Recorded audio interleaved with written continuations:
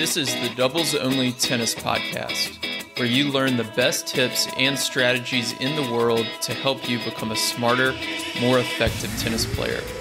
You'll hear interviews with Pro Tour doubles players and coaches, including easy to use lessons to improve your game and win more matches. My name is Will Boucek, founder of the Tennis Tribe, doubles strategy coach, and host of the show.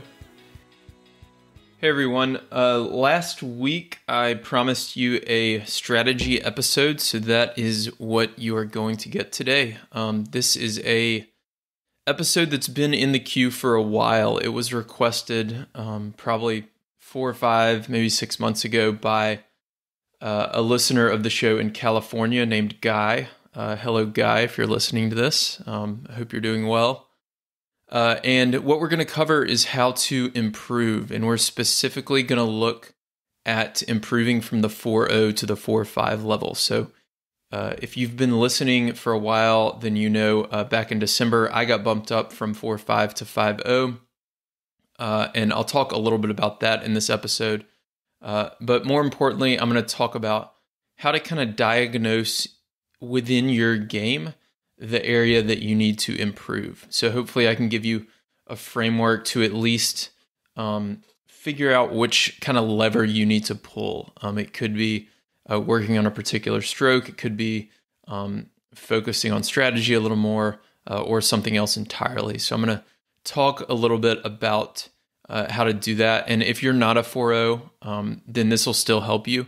Uh, if you're a 4.5, if you're a 3.0, it doesn't really matter. Um, I'm really going to focus on kind of the process of improvement uh, as far as how I see it and uh, based on kind of what I've um, experienced myself as well as what I've learned from a lot of other uh, top coaches uh, around the country. So the place I want to start is um, what what are the differences between a 4.0 and a 4.5 player? So obviously the 4.5 player is better uh, that's why they're rated um, a little bit higher.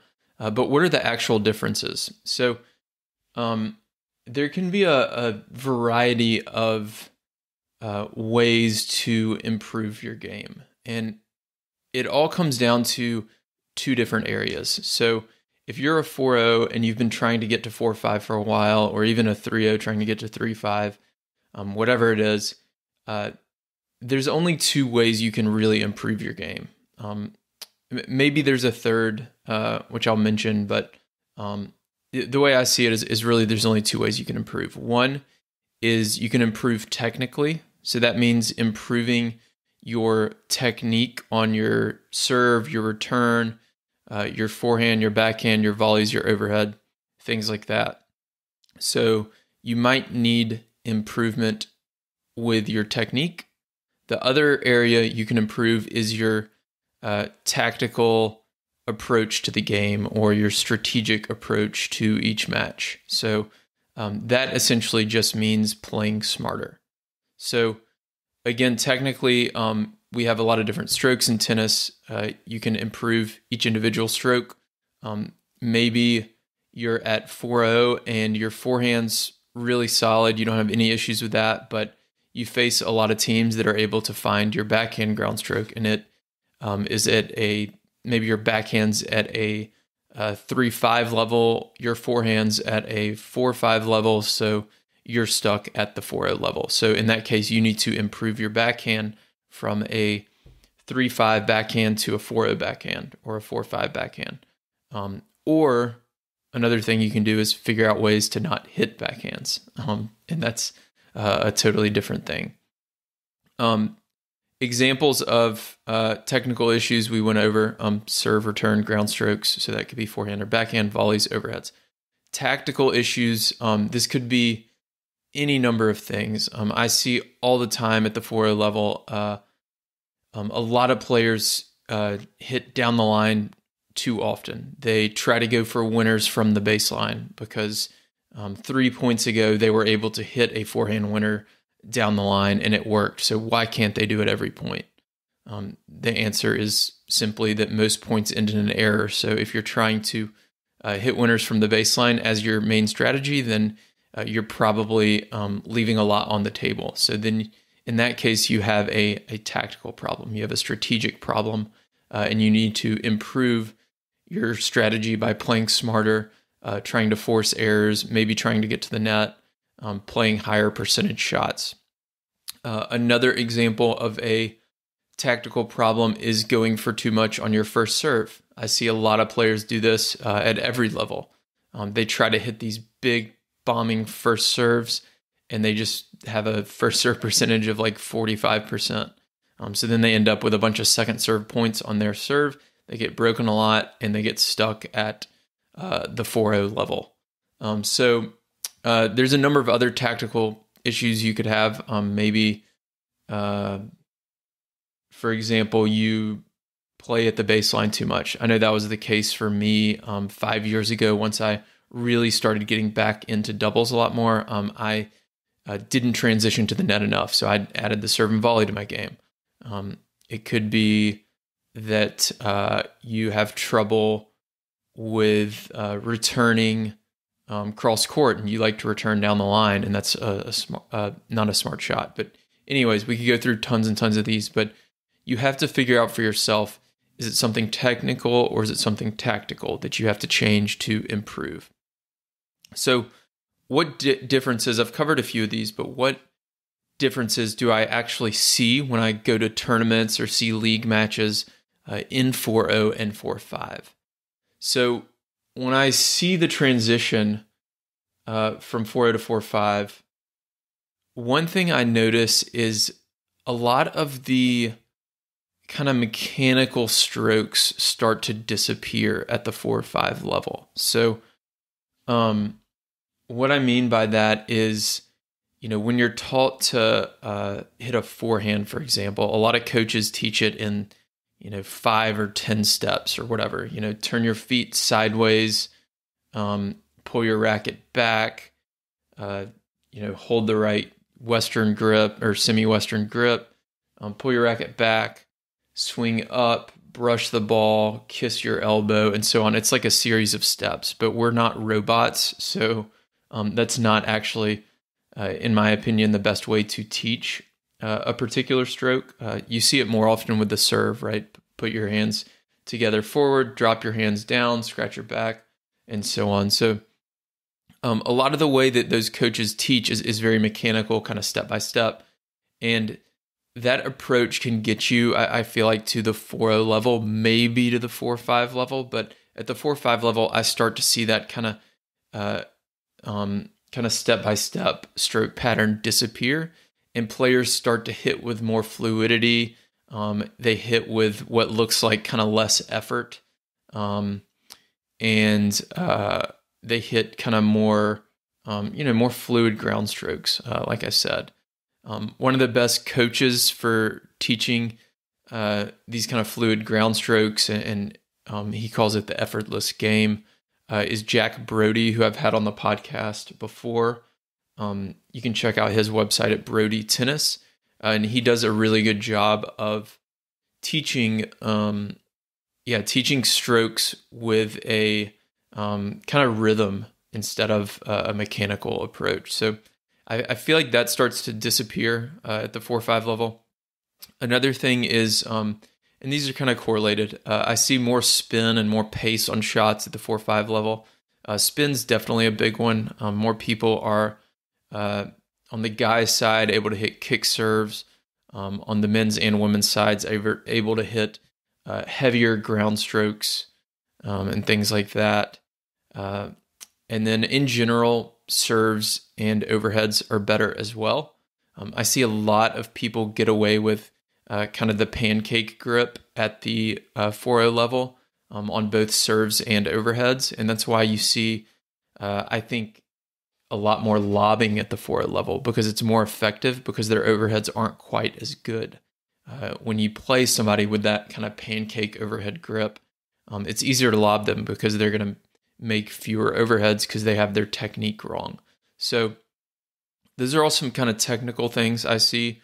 Um, strategic wise, the difference between 4.0 and 4.5, uh, I went over most of them. I, I feel like 4.0 players, um, you know, they might have a huge forehand or a huge serve and they, they try to win from the baseline.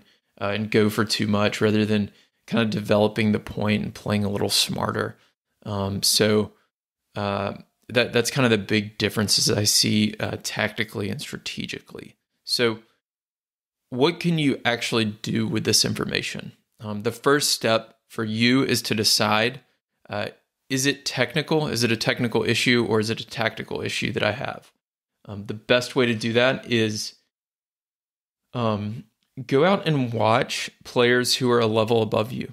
Um, so if you're a 4.0, go watch some 4.5 players. Uh, one thing that might even be better is to play against them. Uh, and if you can get it on film, uh, you can watch yourself on the court versus some of the other players. And um, does it look like you have a, a technical issue um, where you're not able to generate as much pace or as much spin, or um, you don't have the accuracy on a particular stroke, or you miss it a lot? Um, usually, people know what their weakness is, uh, and you can know if it's a technical issue. Uh, if it's a tactical issue, um, it's probably because you just haven't thought a lot about strategy. Uh, the best way to fix that um, is probably to to listen to the first several episodes of this podcast. Um, I'll link in the show notes to the four part series um, that teach you kind of the foundations of double strategy, uh, and that can help a lot as well. But if you do have a tactical, or, or, I'm sorry, a technical issue, um, how can you improve? So let's say um, for me, my backhand technique is is really bad. Um, I haven't really worked on it a whole lot since I play doubles. I'm able to hide it. Um, but my backhand technique is bad. My forehand uh, technique is solid. My serve technique uh, has improved a lot the past three or so years because I've focused on it a lot more. So, how can you improve your technique? Uh, one is use a ball machine or find a good coach, and you just need to get a lot of good reps in um, so that you trust this new technique. Uh, obviously, you'll have to change the technique that you're using now. So for me, you know, I would have to change the back my backhand technique, and then it's gonna feel uncomfortable at first, and then I just need a lot of reps. Um, so that would mean, again, finding a coach who can feed a lot of balls to me, or getting a ball machine, and setting up targets and just work on it. Just hit the target, hit the target, hit the target, um, and eventually that new technique will feel more comfortable uh, and you will uh, improve that way. Um, finding a good coach is a little bit tougher, especially for technique. Um, I've talked about in the past how a lot of coaches, I really don't um, 100% trust them to coach technique. Uh, and it's one reason that I personally don't coach it myself. Because um, I don't trust myself to to coach it because I feel like it requires a ton of experience with a ton of different players and um, it's a very, very complex issue. A few years back, I worked with Warren Pretorius over at Tennis Analytics on a course for coaches to help them uh, improve their students' technique. And I learned a lot um, when I was building that course with him. So there's a few things you want to look for kind of in a coach. Uh, one is don't let them talk too much. Uh, if they're over talking, and if you have a, a 30 minute or an hour lesson and they're spending 30% of the time uh, sitting with you, not hitting balls and, and, just talking to you and kind of shadow swinging and showing you um, your elbow's doing this and it needs to do this. That's far, far less effective uh, than actually just setting up targets um, and feeding you balls and just telling you, you know, small things like, hey, make sure you're keeping your elbow in. Oh, yeah, that was a good one. Keep doing that. Yeah, do that again. Do that again. So um, if they're over talking and, and trying to show you how to swing by imitating it themselves, then that's um, typically not a great sign because people don't uh, learn motor skills, which tennis is. Um, any tennis stroke is a motor skill, uh, as well through audio, through hearing it from someone, as they do visually. So, uh, one of the best things that you can do is actually get video of yourself um, hitting your backhand or whatever the stroke is, and then putting it side by side and syncing up that video with someone who has a proper backhand. And then you can watch that video and see the differences between your own stroke and someone else's stroke, and that um, that kind of does something in your brain that uh, kind of connects the the motor pathway of the stroke so that you can actually um, make the proper adjustments. Uh, uh, there, has been um, several studies on it that have proven that you know visual works a lot better than audio for motor skills, um, and that's what we talk about uh, in the course with tennis analytics. Um, so that's definitely uh, a far far better way to improve your technique. So um, I'd highly recommend getting video of yourself, uh, getting video of a better um, version of that stroke, and, and kind of looking at the differences, um, and then go out and just get a lot of reps. Um, so again, technique versus tactical, decide that, and then figure out how you can improve that thing. Um, if you have any questions on how to improve your own game, uh, definitely reach out. Uh, my email is will at thetennistribe.com. Um, and I will uh, have another episode in a few weeks. Uh, I'm going to try to get some more um, pro players on since we did the really big uh, Indian Wells um, pro doubles launch. Um, so we should have more uh, episodes coming like that soon. Uh, but again, if you have any questions or any feedback, uh, definitely uh, reach out to me and I will talk to you in the next episode. If you're a doubles player, you'll love our weekly doubles newsletter. Every Thursday, we send you doubles tips and strategies to help you improve your game and become a smarter player. When you sign up, you'll get a free 10 page guide on how to play with more confidence and dominate at the net in doubles.